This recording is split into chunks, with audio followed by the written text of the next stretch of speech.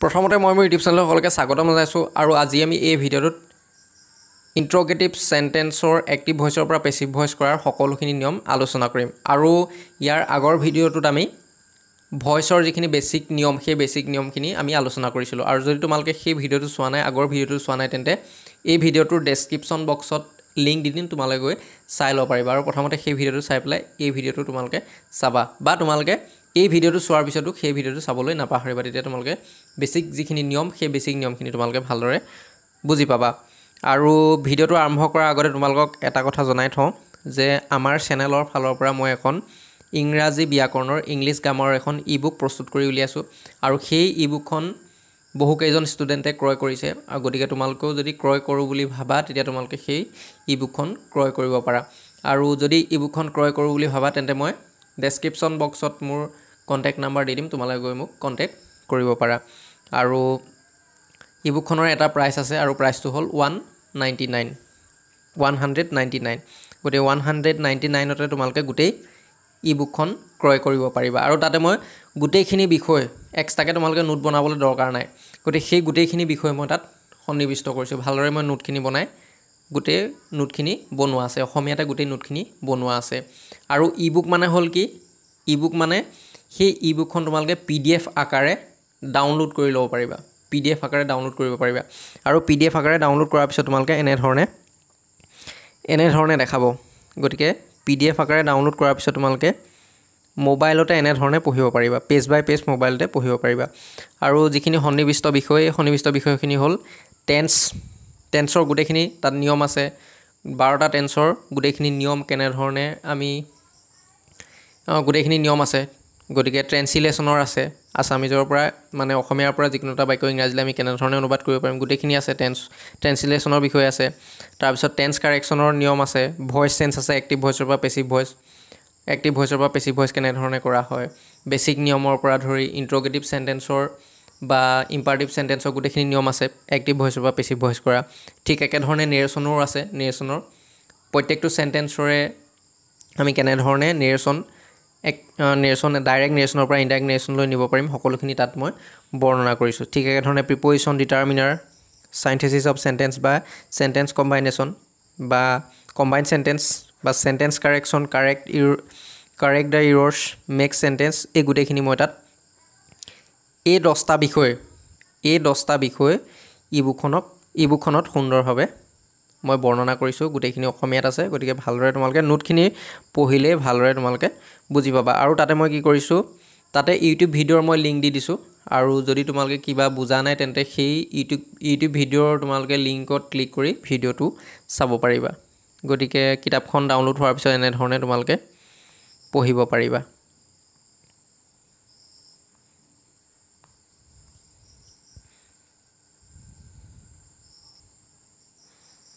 গতিকে আজি আমি চাম interrogative sentence interrogative sentence sentence আমি কেনেধৰণে পেচিভ ভইচৰ পৰা অঁ চৰি এক্টিভ ভইচৰ পৰা আমি পেচিভ ভইচ কৰিব পাৰিম। আৰু প্ৰত্যেকটো আমি টেন্সৰে আলোচনা কৰিম। প্ৰেজেণ্ট ইনডেফিন টেন্সৰ হ'লে কেনেধৰণে কৰিব লাগিব? ইণ্ট্ৰগেটিভ চেণ্টেন্সটো অৰ্থাৎ প্ৰশ্নবোধক বাক্যটো যদি প্ৰশ্নবোধক বাক্যটো যদি ধৰি লোৱা প্ৰেজেণ্ট ইনডেফিন টেন্সৰ হয় তেতিয়া আমি কেনেধৰণে কেনেধৰণে কৰিম? প্ৰেজেণ্ট কণ্টিনিউৱাছ টেন্সৰ হ'লে কেনেধৰণে কৰিম? চিৰিয়েলি আমি চাই যাম। প্ৰথমতে আমি প্ৰেজেণ্ট ইনডেফিন টেন্সৰ চাম তাৰপিছত প্ৰেজেণ্ট কণ্টিনিউৱাছ তাৰপিছত প্ৰেজেণ্ট পাৰফেক্ট এনেধৰণে আমি চাই যাম।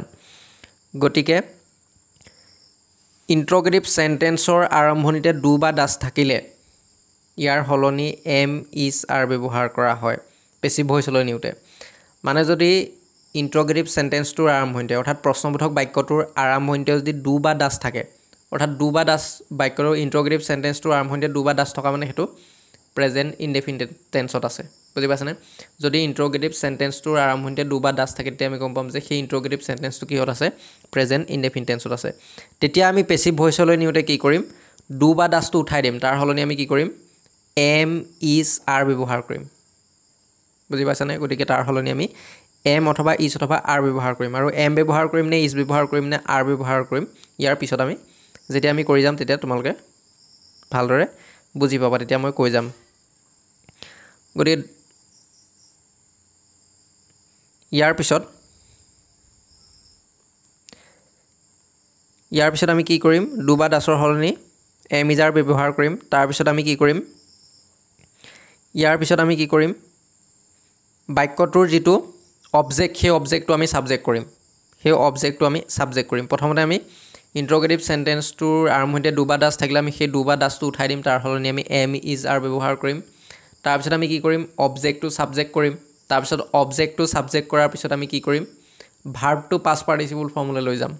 তাৰপিছত আমি কি কৰিম? ভাৰ্বটো পাছ পাৰ্টিচিপুল ফৰ্মলৈ লৈ যাম। তাৰপিছত ভাৰ্বটো পাছ পাৰ্টিচিপুল ফৰ্মলৈ নিয়াৰ পিছত ইয়াৰ পিছত বাই আহিব। বাই অহাৰ পিছত আৰু এক্টিভ ভইচৰ যিটো ছাবজেক্ট সেই ছাবজেক্টটো আমি অবজেক্টলৈ আনিম। আৰু যদি ন' ভাৰ্বটো থাকে আমি আগত পাইছোঁ যে ন' ভাৰ্বটো থাকিলে বাই ব্যৱহাৰ কৰা নহয়। পেচিভ ভইচৰ টু ব্যৱহাৰ কৰা হয়। যেনে ইয়াত আছে do you know' me do you know' me do you know' me এই বাক্যটোৰ পিছত এটা কুৱেশ্যন মাৰ্ক হ'ব লাগিছিলে। কিন্তু টাইপ কৰোঁতে সেইটো থাকি গ'ল। ডু ইউ ন' মি তোমালোকে এইটো ইয়াৰ পিছত এটা কুৱেশ্যন মাৰ্ক ধৰি ল'বা। ডু ইউ ন' মি ইয়াৰ পিছত এটা কুৱেশ্যন মাৰ্ক আছে। অৰ্থাৎ বাক্যটো প্ৰশ্নবোধক সেইকাৰণে ইয়াৰ পিছত কুৱেশ্যন মাৰ্ক থাকিব। গতিকে ডু ইউ ন' মি এই প্ৰশ্নবোধক বাক্যটোৰ আৰম্ভণিতে কি আছে? ডু আছে। গতিকে আমি কি কৰিব লাগিব? পেচিভ ভইচলৈ নিওঁতে আমি কি কৰিব লাগিব? বাক্যটোৰ আৰম্ভণিতে এম ইজ আৰ ব্যৱহাৰ কৰিব লাগিব। এতিয়া কথা হ'ল আমি এম ব্যৱহাৰ কৰিম নে ইজ ব্যৱহাৰ কৰিম নে আৰ ব্যৱহাৰ কৰিম আমি কেনেধৰণে গম পাম? তাৰ কাৰণে আমি কি চাব লাগিব? এক্টিভ ভইচৰ যিটো অবজেক্ট সেই অবজেক্টটো চাব লাগিব। ডু ইউ ন' মি অৰ্থাৎ তুমি মোক চিনি পোৱা নে? এই বাক্যটোৰ অবজেক্টটো কি? আৰু অবজেক্টটো আমি কি বা কাক বুলি প্ৰশ্ন কৰিলে পাব পাৰোঁ? ইউ ন' মি তুমি মোক চিনি পোৱা নে? কাক কাক বুলি প্ৰশ্ন কৰিলে আমি কি পাম? মোক। অৰ্থাৎ মিটো হ'ল বাক্যটোৰ অবজেক্ট বা অবজেক্টটো আমি বাছি উলিয়াবৰ কাৰণে ভাৰ্বৰ পিছত চালেই হ'ল। গতিকে ন'টো হ'ল বাক্যটোৰ ভাৰ্ব গতিকে ন'ৰ পিছত মি আছে গতিকে মিটো হ'ব বাক্যটোৰ কি? অবজেক্ট আৰু মিটো যদি ছাবজেক্টলৈ আহে তেতিয়া কি হ'ব? আই হ'ব। মিটো ছাবজেক্টলৈ আহিলে কি হ'ব? আই হ'ব। এইখিনি কথা আমি আগৰ ভিডিঅ'টোত আলোচনা কৰিছিলোঁ। আগৰ আমি যিখিনি আগৰ যিটো ভিডিঅ' আছিলে সেই ভিডিঅ'টোত আমি সেইখিনি আলোচনা কৰিছিলোঁ। গতিকে অবজেক্টটো হ'ল মি গতিকে মিটো ছাবজেক্টলৈ আহিলে কি হ'ব? পেচিভ ভইচৰ ছাবজেক্ট হিচাপে বহি বহি গতিকে ছাবজেক্টলৈ আহিলে কি হ'ব? আই হ'ব। গতিকে আইৰ লগত কি ব্যৱহাৰ কৰা হ'ব? এম আমি জানো যে আইৰ লগত এম ব্যৱহাৰ কৰা হয়। সেইকাৰণে আমি প্ৰথমতে এম ব্যৱহাৰ কৰিম। বুজি পাইছানে? এমটো কি কাৰণে আহিলে? কাৰণ মিটো ছাবজেক্টলৈ আহিলে আই হ'ব গতিকে আইৰ লগত এম ব্যৱহাৰ কৰা হয়। সেইকাৰণে আমি দূৰ সলনি পেচিভ ভইচৰ জৰিয়তে এম ব্যৱহাৰ কৰিছোঁ। গতিকে প্ৰথমতে আহিব কি দূৰ সলনি এম ব্যৱহাৰ কৰিব লাগিব। তাৰপিছত আহিব অবজেক্টটো আমি ছাবজেক্ট কৰিব লাগিব গতিকে মিটো ছাবজেক্টলৈ আহিলে হ'ব আই গতিকে এম আই তাৰপিছত আমি কি কৰিব লাগিব ভাৰ্বটো পাছ পাৰ্টিচিপুল ফৰ্মলৈ লৈ যাব লাগিব। গতিকে ন'টো পাছ পাৰ্টিচিপুল ফৰ্মলৈ নিলে কি হ'ব? নৌন হৈ যাব। ভাৰ্বৰ আমি জানো যে তিনিটা ফৰ্ম থাকে প্ৰেজেণ্ট পাছ আৰু পাছ পাৰ্টিচিপুল গতিকে ন'টো যদি আমি ভাৰ্বৰ পাছ পাৰ্টিচিপুল ফৰ্মলৈ লৈ যাওঁ তেতিয়া কি হ'ব? নৌন হৈ যাব। গতিকে এম আই নৌন ইয়াৰ পিছত কি আহিব? ইয়াৰ পিছত বাই ব্যৱহাৰ কৰা হয়। কিন্তু ন' ভাৰ্বটো থাকিলে আমি গম পাওঁ যে ন' ভাৰ্বটো থাকিলে বাই সলনি টু আহে। গতিকে সেইকাৰণে টু আহিছে। অন্য ভাৰ্ব থাকিলে এতিয়া বাই আহিব। ভাৰ্বটো পাছ পাৰ্টিচিপুল কৰাৰ পিছত বাই আহিব। কিন্তু ন' ভাৰ্বটো থাকিলে ইয়াৰ পিছত টু আহিব। বাই নাহে।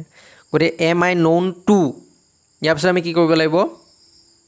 এক্টিভ ভইচৰ যিটো ছাবজেক্ট সেই ছাবজেক্টটো আমি ইয়াৰ পিছত বহাব লাগিব। গতিকে এক্টিভ ভইচৰ যিটো ছাবজেক্ট সেই ছাবজেক্টটোক আমি ক'ত বাছি উলিয়াম? ডু বা দাছৰ পিছতে থাকিব ডু বা দাছৰ পিছতে যিটো থাকিব সেইটোৱে হ'ল বাক্যটোৰ ছাবজেক্ট গতিকে সেইটো অবজেক্টত আহিব। গতিকে ডুৰ পিছত কি আছে? ইউ গতিকে ইউটো হ'ল এক্টিভ ভইচটোৰ ছাবজেক্ট গতিকে সেইটো অবজেক্টত আহিব গতিকে টুৰ পিছত আহিব। আৰু ইউটো ছাবজেক্ট অবজেক্টলৈ নিওঁতে কোনো পৰিৱৰ্তন নহয়। ছাবজেক্টটোতো একে থাকে অবজেক্টটোতো একে থাকে সেইকাৰণে ইউৱে আহিব। গতিকে am I known to you এনেধৰণে হ'ব। ইয়াৰ পিছত আছে does he take tea does he take tea গতিকে এতিয়া আমি কি কৰিব লাগিব এই প্ৰশ্নবোধক এই ইণ্ট্ৰগেটিভ চেণ্টেন্সটো আৰম্ভণিতে ডু বা ডাছ আছে এই ইণ্ট্ৰগেটিভ চেণ্টেন্সটোৰ আৰম্ভণিতে ডু বা ডাছ আছে অঁ ডাছ আছে। গতিকে আমি কি কৰিব লাগিব এতিয়া ডাছটো উঠাই পেলাই এম ইজ আৰ ব্যৱহাৰ কৰিব লাগিব। গতিকে এম ব্যৱহাৰ কৰিম নে ইজ ব্যৱহাৰ কৰিম নে আৰ ব্যৱহাৰ কৰিম আমি কেনেধৰণে গম পাম? এক্টিভ ভইচৰ যিটো অবজেক্ট সেই অবজেক্টটো চাব লাগিব। অবজেক্টটো কি? টেকটো হ'ল বাক্যটোৰ ভাৰ্ব গতিকে টেকৰ পিছত কি আছে? টি গতিকে টিটো হ'ল বাক্যটোৰ object does he take tea অৰ্থাৎ সি চাহ খায়নে বা সি চাহ লয়নে? গতিকে কি বুলি প্ৰশ্ন কৰিলে আমি কি পাম? টি বা আমি ভাৰ্বৰ পিছত চালেই হ'ল অবজেক্টটোৰ কাৰণে টি গতিকে টিৰ লগত কি হ'ব? টি মানে চাহ। গতিকে চাহৰ লগত এম ব্যৱহাৰ কৰিম নে ইজ ব্যৱহাৰ কৰিম নে আৰ ব্যৱহাৰ কৰিম?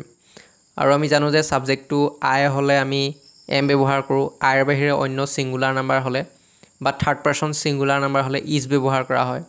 আৰু যদি ছাবজেক্টটো পুৰেল নাম্বাৰ হয় এটাতকৈ বেছিক বুজায় তেতিয়া কি হ'ব? আৰ ব্যৱহাৰ কৰা হ'ব। গতিকে টিটো আইৰ বাহিৰে অন্য ছিংগুলাৰ নাম্বাৰ বা থাৰ্ড পাৰ্চন ছিংগুলাৰ নাম্বাৰ সেইকাৰণে কি হ'ব? ইজ ব্যৱহাৰ কৰা হ'ব। গতিকে সেইকাৰণে আৰম্ভণিতে ইজ আহিব। গতিকে ইজ ব্যৱহাৰ কৰাৰ পিছত কি কৰিব লাগিব?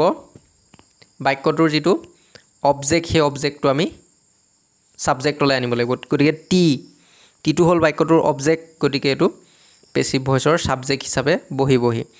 গতিকে ইজ টি আৰু টিটো ছাবজেক্টলৈ আহিলে কোনো পৰিৱৰ্তন নহয় একে থাকিব। গতিকে ইজ টি ইয়াৰ পিছত কি আহিব?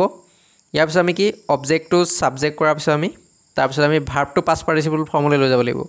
গতিকে টেকৰ যিটো পাছ পাৰ্টিচিপল ফৰ্ম এইটো কি হ'ব? টেক টুক টেকেন একেবাৰে শেষৰ ফৰ্মটো ভাৰ্বৰ টেকেন হ'ব। গতিকে ইজ টি টেকেন ইয়াৰ পিছত আমি কি কৰিব লাগিব? ভাৰ্বটো পাছ পাৰ্টিচিপল কৰাৰ পিছত বাই আহিব। গতিকে বাই আহিছে ইজ টি টেকেন বাই তাৰপিছত আমি কি কৰিব লাগিব?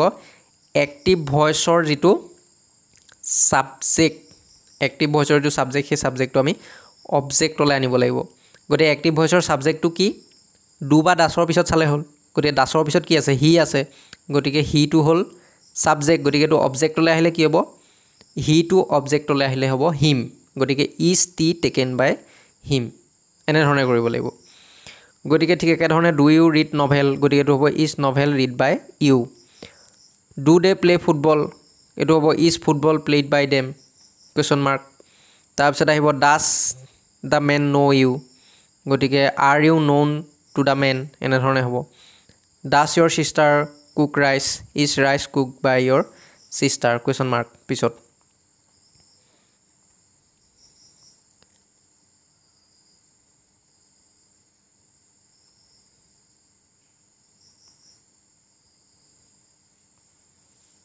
পিছলৈ নিওঁতে ইয়াৰ সলনি ৱেজ বা ৱাছ বা ৱেৰ ব্যৱহাৰ কৰা হয়। আৰু পিছৰখিনি নিয়ম একে থাকিব। ডিডৰ সলনি ৱাজ বা ৱেৰ আহিব আৰু পিছৰখিনি নিয়ম আগত কৰাৰ নিচিনা একেই থাকিব। আৰু ইয়াত ডিড এইটো ডিড নট নহয় ডিড হ'ব লাগিছিলে নটটো লাগি গ'ল ইয়াতে। প্ৰশ্নবোধক বাক্যটোৰ আৰম্ভণিতে ডিড থাকিলে পেচিভ ভইচলৈ নিওঁতে ইয়াৰ সলনি ৱাজ বা ৱেৰ ব্যৱহাৰ কৰা হয়। এইটো ডিড নট নহয় ডিড হ'ব লাগিছিলে। গতিকে did you buy the book গতিকে এইটো কি হ'ব? ডিডৰ সলনি আমি ৱাজ বা ৱেৰ ব্যৱহাৰ কৰিব লাগিব। গতিকে ডিডৰ সলনি আমি কি কৰিব লাগিব? ৱাজ বা ৱেৰ ব্যৱহাৰ কৰিব লাগিব। আৰু প্ৰশ্নবোধক বাক্যটোৰ আৰম্ভণিতে যদি ডিড থাকে তেতিয়া আমি গম পাম যে সেই বাক্যটো সেই যিটো ইণ্ট্ৰগেটিভ চেণ্টেঞ্চ সেই চেণ্টেঞ্চটো পাছ ইনডেফিনিট টেন্সৰ বুজি পাইছানে? এই ইণ্ট্ৰগেটিভ যিটো চেণ্টেঞ্চ এই চেণ্টেঞ্চটো পাছ ইনডেফিনিট টেন্সৰ কাৰণটো কি? কাৰণটো হ'ল প্ৰশ্নবোধক বাক্যটোৰ আৰম্ভণিতে ডিড আছে। গতিকে এতিয়া আমি পেচিভ ভইচলৈ নিওঁতে ডিডৰ সলনি ৱাছ বা ৱেৰ ব্যৱহাৰ কৰিব লাগিব। এতিয়া আমি ৱাছ ব্যৱহাৰ কৰিম নে ৱেৰ ব্যৱহাৰ কৰিম তাৰ কাৰণে আমি চাব লাগিব। যিটো এক্টিভ ভইচৰ অবজেক্ট সেই অবজেক্টটো ছাবজেক্টলৈ আনিলে কি হ'ব আৰু তাৰ লগত কি ব্যৱহাৰ হ'ব? ৱাছ ব্যৱহাৰ হ'ব নে ৱেৰ ব্যৱহাৰ হ'ব? গতিকে যদি ছাবজেক্টটো ছিংগুলাৰ নাম্বাৰ হয় তেতিয়া ৱাছ ব্যৱহাৰ হ'ব এটাক বুজালে ৱাছ হ'ব। যদি পুৰেল নাম্বাৰ হয় তেতিয়া কি হ'ব? ৱেৰ হ'ব।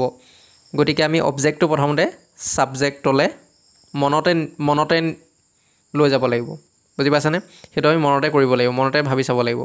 গতিকে আমি প্ৰথমতে অবজেক্টটো বহা অবজেক্টটো আমি ছাবজেক্টলৈ আনিব নোৱাৰোঁ। কিন্তু আমি মনতে চাব লাগিব যে অবজেক্টটো ছাবজেক্টলৈ নিলে কি হ'ব। আৰু তাৰ লগত ৱাছ ব্যৱহাৰ হ'ব নে ৱেৰ ব্যৱহাৰ হ'ব। গতিকে আমি সেই অনুসৰি ৱাছ বা ৱেৰ ব্যৱহাৰ কৰিম। গতিকে did you buy the book এই বাক্যটোৰ অবজেক্টটো কি? দ্য বুক বাইৰ পিছত বাই বাইটো হ'ল ভাৰ্ব গতিকে ইয়াৰ পিছত দা বুক আছে। গতিকে দা বুকটো হ'ল বাক্যটোৰ অবজেক্ট গতিকে দা বুক দা বুকটো ছাবজেক্টলৈ আহিলেও পেচিভ ভইচৰ ছাবজেক্টলৈ আহিলেও একেটাই হ'ব দা বুকেই গতিকে দা বুক বুলি কওঁতে কিতাপখন। কিতাপখন বুলি কওঁতে এইটো কি হ'ল? ছিংগুলাৰ নাম্বাৰ গতিকে তাৰ লগত ৱাজ ব্যৱহাৰ হ'ব দা বুকৰ লগত ৱাজ ব্যৱহাৰ হ'ব। গতিকে আমি ডিডৰ সলনি কি ব্যৱহাৰ কৰিব লাগিব? ৱাজ গতিকে ৱাজ ডিডৰ সলনি ৱাজ আহিব। ইয়াৰ পিছত আমি অবজেক্টটো ছাবজেক্টলৈ নিব লাগিব। গতিকে অবজেক্টটো কি আছিলে? দা বুক গতিকে ছাবজেক্ট কৰিব লাগিব। গতিকে ৱাছ দ্য বুক ইয়াৰ পিছত কি কৰিব লাগিব? ভাৰ্বটো পাছ পাৰ্টিচিপল ফৰ্মলৈ লৈ যাব লাগিব। বাই যিটো পাছ পাৰ্টিচিপল ফৰ্ম এইটো হ'ল but B O' U G H T গতিকে ৱাচ দ্য বুক বট ভাৰ্বটো পাছ পাৰ্টিচিপল কৰাৰ পিছত বাই আহিব। তাৰপিছত আমি এক্টিভ ভইচৰ যিটো ছাবজেক্ট সেই ছাবজেক্টটো আমি অবজেক্টলৈ আনিব লাগিব। গতিকে was the book bought by U এনেধৰণে হ'ব। ইয়াৰ পিছত আছে প্ৰশ্নবোধক বাক্যটো যদি সুৰে আৰম্ভ হয় তেতিয়া পেচিভ ভইচলৈ নিওঁতে বাই হোম ব্যৱহাৰ কৰা হয়। আকৌ যদি বাক্যটোৰ আৰম্ভণিতে হু থাকে তেতিয়া কি কৰিব লাগিব আমি পেচিভ ভইচলৈ নিওঁতে বাই হোম ব্যৱহাৰ কৰিব লাগিব। B Y by whom W H O' M whom. H O' M E নহয় আকৌ W H O' M by whom. গতিকে যেনে who has broken the window' গতিকে এইটো হ'ব by home has the window' been broken এনেধৰণে কৰিব লাগিব। গতিকে সুৰ পিছত থকা ভাৰ্বটো প্ৰেজেণ্ট ফৰ্মত থাকিলে পেচিভ ভইচলৈ নিওঁতে সুৰ সলনি বাই হোম ব্যৱহাৰ কৰা হয়। গতিকে সুৰ সলনি কি আহিব? বাই হোম আহিব। এইটো হু হৈ আছে বাই হু হৈ আছে এইটো বাই হোম হ'ব লাগিছিলে আচলতে। সুৰ সলনি বাই হোম ব্যৱহাৰ কৰা হয়। আৰু এক্টিভ ভইচৰ অবজেক্ট অনুসৰি এম ইজ আৰ ব্যৱহাৰ কৰা হয়। এক্টিভ ভইচৰ অবজেক্টটো ছাবজেক্ট কৰা হয় ভাৰ্বটো পাছ পাৰ্টিচিপল ফৰ্মলৈ নিব লাগে। বুজি পাইছানে? যেনে who does the work who does the work গতিকে বাক্যটোৰ আৰম্ভণিতে কি আছে? হু আছে। গতিকে এইটো কি হ'ব? পেচিভ ভইচলৈ নিওঁতে বাই হুম আহিব। গতিকে বাই হুম ইয়াৰ পিছত আমি চাব লাগিব বাই হুম কি আহিব? সুৰ সলনি আহিব বাই হুম আৰু যদি বাক্যটোৰ ভাৰ্বটো এক্টিভ ভইচৰ যিটো ভাৰ্ব সেই ভাৰ্বটো যদি প্ৰেজেণ্ট ফৰ্মত থাকে গতিকে প্ৰেজেণ্ট ফৰ্মত থাকিলে আমি কি কৰিব লাগিব? এম ইজ আৰ ব্যৱহাৰ কৰিব লাগিব। বাই হোম ব্যৱহাৰ কৰাৰ পিছত আমি এম ইজ আৰ ব্যৱহাৰ কৰিব লাগিব। গতিকে ইয়াত ডাছ ডাছ মানে এইটো কি? ডুৰ প্ৰেজেণ্ট ফৰ্মৰ লগত ইয়েছ যোগ হৈ আছে। গতিকে এইটো প্ৰেজেণ্ট ফৰ্মতে আছে। বুজি পাইছেনে? ডাছ ডু বা ডাছ এইটো প্ৰেজেণ্ট ফৰ্মতে থাকিব। গতিকে মেইন ভাৰ্বটো হ'ল ডু গতিকে ডুটো প্ৰেজেণ্ট ফৰ্মত আছে। তেতিয়া আমি কি কৰিব লাগিব? পেচিভ ভইচলৈ নিওঁতে বাই হোমৰ পিছত এম ইজ আৰ ব্যৱহাৰ কৰিব লাগিব। গতিকে এম ইজ আৰ আমি কেনেধৰণে ব্যৱহাৰ কৰিম? আগৰটো নিচিনা। অবজেক্টটো চাব লাগিব। অবজেক্টটো কি আছে? দ্য ৱৰ্ক গতিকে দ্য ৱৰ্কৰ লগত কি ব্যৱহাৰ হ'ব? ইজ ব্যৱহাৰ হ'ব। গতিকে আমি ইজ ব্যৱহাৰ কৰিব লাগিব। বাই হোম ইজ তাৰপিছত আমি কি কৰিব লাগিব? অবজেক্টটো ছাবজেক্ট অবজেক্টটো কি? দ্য ৱৰ্ক গতিকে দ্য ৱৰ্ক আহিব। By home is the work তাৰপিছত আমি কি কৰিব লাগিব? ভাৰ্বটো পাছ পাৰ্টিচিপল ফৰ্মলৈ লৈ যাব লাগিব। গতিকে ভাৰ্বটো কি? ডু ইয়েছটো বাদ দিয়া। মেইন ভাৰ্বটো হ'ল ডু গতিকে ডুটো পাছ পাৰ্টিচিপল ফৰ্মলৈ নিলে কি হ'ব? Done by home is the work done এনেধৰণে আমি কৰিব লাগিব। আকৌ যদি আকৌ যদি ইণ্ট্ৰগেটিভ চেণ্টেঞ্চটো ইণ্ট্ৰগেটিভ চেণ্টেঞ্চটোৰ আৰম্ভণিতে যদি হু থাকে আৰু বাক্যটো যদি কণ্টিনিউৱাছ টেন্সৰ হয় মানে হুৰ পিছতে এমিজাৰ আৰু ভাৰ্বটোৰ লগত যি আই এন জি লাগি থাকে তেতিয়া আমি কেনেধৰণে কৰিম? গতিকে নিয়মটো প্ৰায় একেই হ'ব। তেতিয়া আমি কি কৰিম? হুৰ সলনি বাই হোম আহিব। তাৰপিছত আমি এমিজাৰ ব্যৱহাৰ কৰিম। ধৰি লোৱা who is doing the work গতিকে এইটো কি হ'ব? প্ৰথমতে আমি সুৰ সলনি বাই হোম আহিব। আৰু ইয়াৰ পিছত এম ইজ আৰ আহিব। গতিকে দ্য ৱৰ্কৰ লগত ইজ ব্যৱহাৰ হ'ব গতিকে ইজ আহিব। বাই হোম ইজ ইয়াৰ পিছত অবজেক্টটো ছাবজেক্ট অবজেক্টটো কি? দ্য ৱৰ্ক গতিকে ছাবজেক্টলৈ আহিলে পেচিভ ভইচৰ ছাবজেক্ট হিচাপে হ'লে একেটাই হ'ব দ্য ৱৰ্ক গতিকে by home is the work ইয়াৰ পিছত আমি কি কৰিব লাগিব? অবজেক্টটো ছাবজেক্ট কৰাৰ পিছত আমি বিং ব্যৱহাৰ কৰিব লাগিব। কি ব্যৱহাৰ কৰিব লাগিব? বিং কাৰণটো কি? কাৰণটো হ'ল এক্টিভ ভইচৰ এক্টিভ ভইচটো প্ৰেজেণ্ট কণ্টিনিউৱাছ টেন্সত আছে। যিটো ইণ্ট্ৰগেটিভ চেণ্টেঞ্চ সেই ইণ্ট্ৰগেটিভ চেণ্টেঞ্চটো present continuous টেন্সৰ who is doing the work অৰ্থাৎ কামটো কোনে কৰি আছে? গতিকে এইটো ইণ্ট্ৰগেটিভ চেণ্টেঞ্চটো প্ৰেজেণ্ট কণ্টিনিউৱাছ টেন্স সেইকাৰণে আমি এনেধৰণে কৰিব লাগিব। প্ৰথমতে কি কৰিব লাগিব? সুৰ সলনি বাই হোম তাৰপিছতে এমিজাৰ আহিব। তাৰপিছত কি আহিব? অবজেক্টটো ছাবজেক্ট কৰিব লাগিব। তাৰপিছত ইয়াৰ পিছত বিং আহিব। বিং অহাৰ পিছত ভাৰ্বটো আমি পাছ পাৰ্টিচিপল কৰিব লাগিব।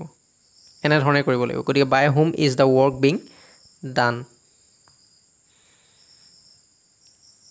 ঠিক একেধৰণে হু ইজ প্লেয়িং ফুটবল গতিকে এইটো কি হ'ব? By home is football being played প্ৰথমতে সুৰ সলনি বাই হোম আহিব। ইয়াৰ পিছত এম ইজ আৰ আহিব গতিকে ফুটবল বাক্যটোৰ অবজেক্টটো চাব লাগিব। এম ব্যৱহাৰ হ'বনে ইজ ব্যৱহাৰ হ'বনে আৰ ব্যৱহাৰ হ'ব আমি বাক্যটোৰ অবজেক্টটো চাব লাগিব। গতিকে অবজেক্টটো হ'ল ফুটবল গতিকে ফুটবলটো হ'ল singular number third person singular number সেইকাৰণে ইয়াৰ লগত কি আহিব? ইজ আহিব। সেইকাৰণে বাই হোমৰ পিছত ইজ আহিছে। তাৰপিছত আমি কি কৰিব লাগিব? অবজেক্টটো ছাবজেক্ট কৰিব লাগিব। গতিকে ফুটবলটো হ'ল বাক্যটোৰ অবজেক্ট গতিকে এইটো ছাবজেক্টলৈ আহিব। গতিকে বাই হোম ইজ ফুটবল তাৰপিছত অবজেক্টটো ছাবজেক্ট কৰাৰ পিছত কি কৰিব লাগিব? ইয়াৰ পিছত বিং আহিব। তাৰপিছত বিং ব্যৱহাৰ কৰাৰ পিছত আমি ভাৰ্বটো পাছ পাৰ্টিচিপল ফৰ্মলৈ লৈ যাব লাগিব। গতিকে প্লে'ৰ যিটো পাছ পাৰ্টিচিপল ফৰ্ম এইটো হ'ব প্লেট গতিকে by home is football being played ঠিক একেধৰণে হু ইজ কুকিং ৰাইচ গতিকে এইটো হ'ব by home is rice being cook who is examining the patients গতিকে by home are the patients being examine এনেধৰণে কৰিব লাগিব।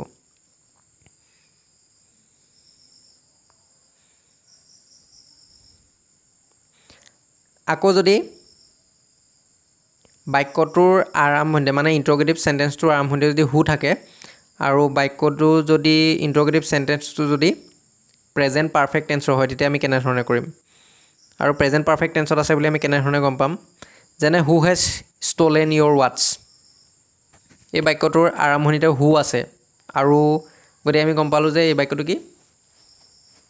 ইণ্ট্ৰগেটিভ নহয় জানো? আৰু পিছফালে প্ৰশ্নবোধকডাল লাগিয়ে থাকিব আমি গম পাম যে এই বাক্যটো ইণ্ট্ৰগেটিভ তেতিয়া আমি কি কৰিব লাগিব? সুৰ সলনি কি আহিব? বাই হোম আহিব। আৰু হু হেজ ষ্টলেন ইয়'ৰ ৱাটছ এই বাক্যটো কি কিহত আছে? এই বাক্যটো এই ইণ্ট্ৰগেটিভ চেণ্টেন্সটো প্ৰেজেণ্ট পাৰফেক্ট টেন্সত আছে। আৰু প্ৰেজেণ্ট পাৰফেক্ট টেন্সত আছে বুলি আমি কেনেধৰণে গম পালোঁ? হুৰ পিছতে যদি হেভ বা হেজ থাকে আৰু ভাৰ্বটো যদি পাছ পাৰ্টিচিপল হৈ থাকে তেতিয়া আমি গম পাম যে সেই বাক্যটো সেই ইণ্ট্ৰগেটিভ যিটো চেণ্টেন্স সেই চেণ্টেন্সটো প্ৰেজেণ্ট পাৰফেক্ট টেন্সত আছে। গতিকে ইয়াৰ হুৰ পিছত হেজ আছে আৰু ভাৰ্বটো ষ্টলেন ষ্টলেনটো ভা ষ্টিলৰ পৰা আহিছে S T E A L steal মানে হ'ল চুৰ কৰা তাৰ যিটো পাছ পাৰ্টিচিপল ফৰ্ম একেবাৰে শেষৰ ফৰ্ম ষ্টিল ষ্টল ষ্টলেন গতিকে ভাৰ্বটো পাছ পাৰ্টিচিপল ফৰ্মত আছে। গতিকে আমি গম পালোঁ যে এই বাক্যটো প্ৰেজেণ্ট পাৰফেক্ট টেন্সত আছে। তেতিয়া আমি কেনেধৰণে কৰিম? যদি বাক্যটোৰ আৰম্ভণিতে হু থাকে আৰু বাক্যটো যদি প্ৰেজেণ্ট পাৰফেক্ট টেন্সৰ হয় ইণ্টগ্ৰেটিভ চেণ্টেন্সটো যদি প্ৰেজেণ্ট পাৰফেক্ট টেন্সৰ হয় তেতিয়া আমি কেনেধৰণে কৰিম? নিয়মটো প্ৰায় একেই হ'ব সুৰ সলনি কি আহিব? বাই হোম আহিব। আৰু বাই হোম অহাৰ পিছত ইয়াৰ পিছত আমি হেভ বা হেজ ব্যৱহাৰ কৰিব লাগিব। আৰু হেভ ব্যৱহাৰ কৰিম নে হেজ ব্যৱহাৰ কৰিম তাৰ কাৰণে আমি চাব লাগিব এক্টিভ ভইচৰ যিটো অবজেক্ট সেই অবজেক্টটো চাব লাগিব। গতিকে ষ্টলেনটো হ'ল verb who has stolen your ৱাটছ এই বাক্যটোৰ ষ্টলেনটো হ'ল ভাৰ্ব ইয়াৰ পিছত কি আছে? ইয়ৰ ৱাটছ গতিকে ইয়ৰ ৱাটছটো হ'ল বাক্যটোৰ অবজেক্ট গতিকে ইয়ৰ ৱাটছটোৰ লগত আমি চাব লাগিব যে সেই অবজেক্টটোৰ লগত কি ব্যৱহাৰ হ'ব। এক্টিভ ভইচৰ অবজেক্টটো চাব লাগিব। ইয়ৰ ৱাটছ গতিকে ইয়ৰ ৱাটছটোৰ লগত হেভ ব্যৱহাৰ হ'ব নে হেজ ব্যৱহাৰ হ'ব। গতিকে ইয়ৰ ৱাটছ মানে কি? তোমাৰ ঘড়ী। Who has who has stolen your ৱাটছ মানে তোমাৰ ঘড়ীটো কোনে চুৰ কৰিলে।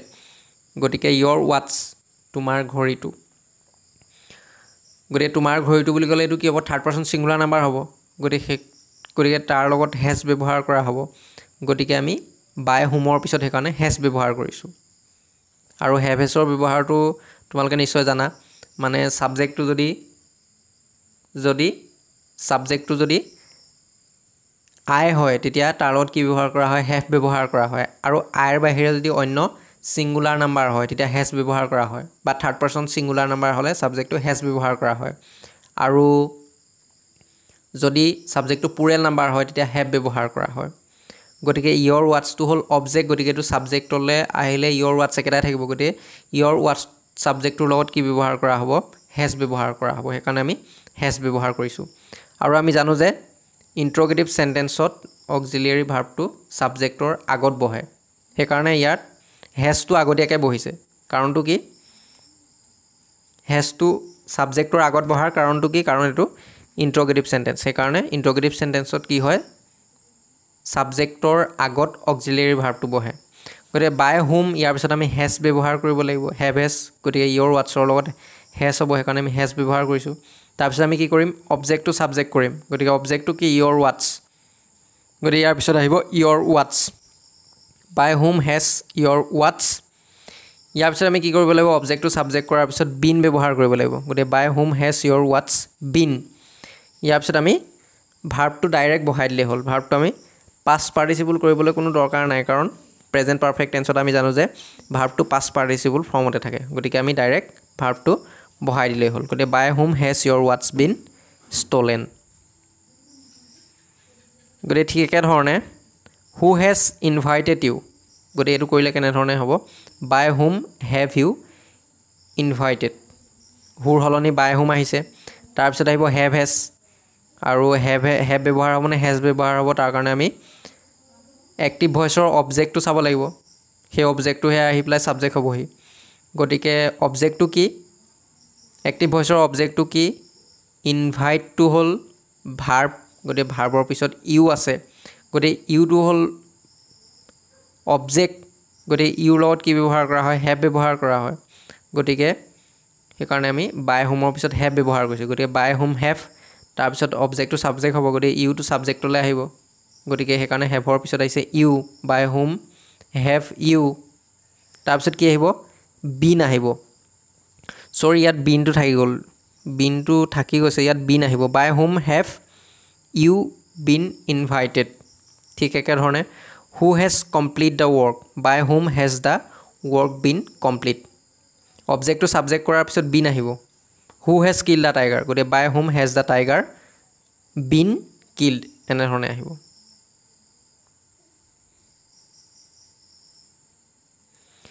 আকৌ যদি প্ৰশ্নবোধক বাক্যটোত হুৰ পিছত থকা ভাৰ্বটো যদি পাছ ফৰ্মত থাকে তেতিয়া আমি পেচিভ ভইচলৈ নিলে কেনেধৰণে হ'ব?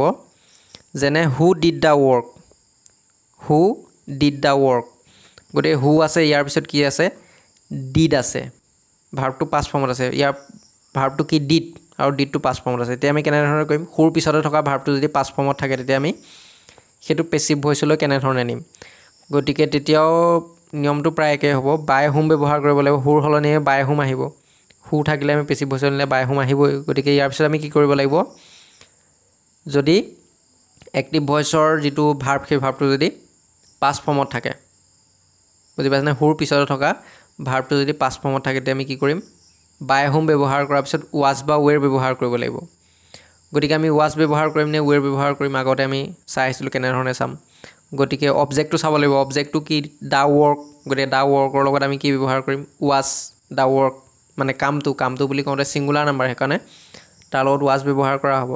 গতিকে আমি ৱাছ ব্যৱহাৰ কৰিম। গতিকে বাই হোম ৱাছ ইয়াৰ পিছত আমি অবজেক্টটো ছাবজেক্ট কৰিম। গতিকে অবজেক্টটো কি? দ্য ৱৰ্ক গতিকে ৱাজৰ পিছত দ্য ৱৰ্ক আহিব। গতিকে by home was the work তাৰপিছত আমি কি কৰিম?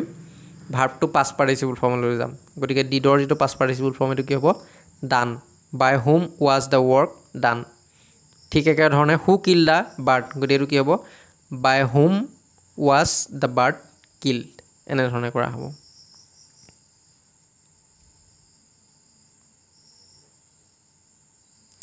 আকৌ যদি প্ৰশ্নবোধক বাক্যটোত হুৰ পিছত মে মাইট কেন কুড চুড মাছ থাকে তেতিয়া পেচিভ ভইচলৈ নিতে আমি কেনেধৰণে কৰিম? তেতিয়া আমি পেচিভ ভইচলৈ নিতে কেনেধৰণে কৰিম? যেনে who can do it who can do it যেনে হু কেন ডু ইট গতিকে হুৰ পিছতে যদি কেন কুড মে মাইট এনেধৰণে থাকে এইকেইটা থাকে। হুৰ পিছত যদি মে মাইট কেন কুড চুড মাছ থাকে তেতিয়া আমি পেচিভ ভইচৰ জৰিয়তে কেনেধৰণে কৰিম? গতিকে যেনে হু কেন ডু ইট গতিকে সুৰ সলনি কি আহিব? পেচিভ ভইচ যেনে বাই হোম আহিব। তাৰপিছত কেন থাকিলে আমি কেনে ব্যৱহাৰ কৰিব লাগিব? যদি বাক্যটোত কেন থাকে তেতিয়া আমি বাই হোমৰ পিছত কি ব্যৱহাৰ কৰিব লাগিব? কেন ব্যৱহাৰ কৰিব লাগিব। যদি মাষ্ট থাকে তেতিয়া মাষ্ট ব্যৱহাৰ কৰিব লাগিব। ইয়াত দিয়াকেইটা যিকেইটা মই দিছিলোঁ কি কি? May might can could should must এইকেইটা যদি থাকে তেতিয়া বাই হোম ব্যৱহাৰ কৰাৰ পিছত যিটো থাকে সেইটোৱে আহিব। চুড থাকিলে চুড আহিব মাষ্ট থাকিলে মাষ্ট আহিব কুড থাকিলে কুড আহিব। গতিকে ইয়াত কেন আছে গতিকে কেন আহিব। গতিকে বাই হোম ইয়াৰ পিছত কেন আছে গতিকে কেন আহিব। বাই হোম কেন। ইয়াৰ পিছত আমি কি কৰিব লাগিব? অবজেক্টটো ছাবজেক্ট কৰিব লাগিব। গতিকে অবজেক্টটো কি? ইট। দুটো হ'ল ভাৰ্ব। গতিকে ভাৰ্বৰ পিছত ইট আছে। গতিকে ইটটো হ'ল বাক্যটোৰ অবজেক্ট। গতিকে আমি অবজেক্টটো বহাব লাগিব ইয়াৰ পিছত। গতিকে বাই হোম কেন ইট ইয়াৰ পিছত আমি কি কৰিব লাগিব? বি ব্যৱহাৰ কৰিব লাগিব। ইয়াৰ পিছত আমি বি বহাব লাগিব। অবজেক্টটো ছাবজেক্ট কৰাৰ পিছত ইয়াৰ পিছত বি এটা আহিব। গতিকে by whom can it be ইয়াৰ পিছত বি ব্যৱহাৰ কৰাৰ পিছত ভাৰ্বটো আমি পাছ পাৰ্টিচিপল ফৰ্মলৈ লৈ যাব লাগিব। গতিকে ডুটো পাছ পাৰ্টিচিপল ফৰ্ম নিলে হ'ব ডান গতিকে by whom can it be done who should do the work গতিকে এইটো নিলেও শ্বুড থাকিলেও একেধৰণে কৰিব লাগিব। গতিকে সুৰ সলনি বাই হোম আহিব গতিকে বাই হোম তাৰপিছত শ্বুড থাকিলে শ্বুডেই হ'ব গতিকে বাই হোম শ্বুড তাৰপিছত অবজেক্টটো ছাবজেক্ট দ্য ৱৰ্ক ইয়াৰ পিছত অবজেক্টটো ছাবজেক্ট কৰাৰ পিছত বি আহিব তাৰপিছত ভাৰ্বটো পাছ পাৰ্টিচিপল কৰিব লাগিব। গতিকে by whom should the work be done